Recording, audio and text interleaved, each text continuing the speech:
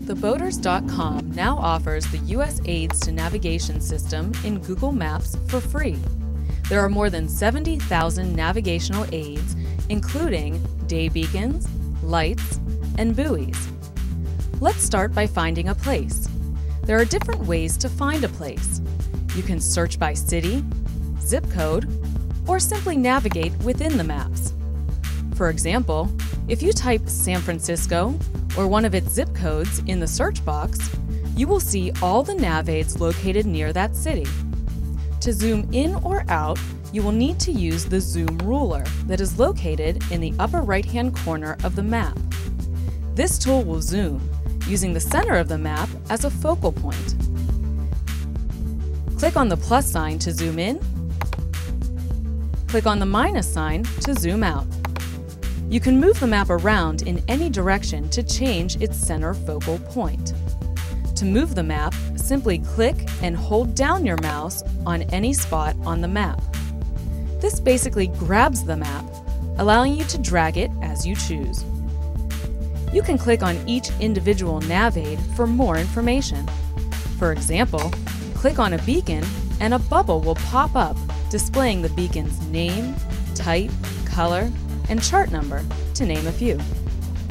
The maps can be explored in four different views Map, Satellite, Hybrid, and Terrain. To control what you are viewing, the Boaters has developed different layers of information that you can turn on and off. There is a list of the layers on the left side of the map. So if you're looking at a map of the San Francisco Bay and are only interested in locating range marks, check only the box Range Marks. Uncheck all other boxes in the list. The ruler is a very useful tool. It allows you to estimate the total nautical miles in a straight line between two points.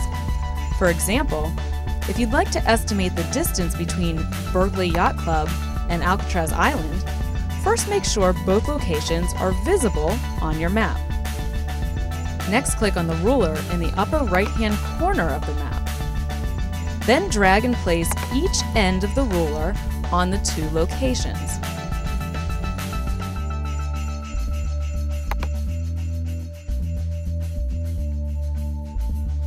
The approximate nautical miles will be displayed in yellow. While these tools should not be used for on-the-water navigational purposes, they will come in extremely handy when planning a weekend getaway or overnight raft up with friends. Plan trips, find marinas, choose an anchorage, and much more. Enjoy navigating and visit our frequently asked questions section for more information.